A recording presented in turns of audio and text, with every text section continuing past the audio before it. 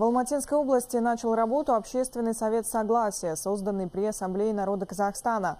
А в него вошли 37 видных общественных деятелей. Консультативно-совещательный орган будет трудиться над усилением доверия, которое есть между властью и гражданским обществом. Предстоит консолидировать усилия гражданских институтов, общественных, политических объединений, укреплении согласия и национального единства. Кроме того, Совет посодействует развитию благотворительности, медиации – и общественного контроля. Планируется помогать населению и в решении бытовых вопросов.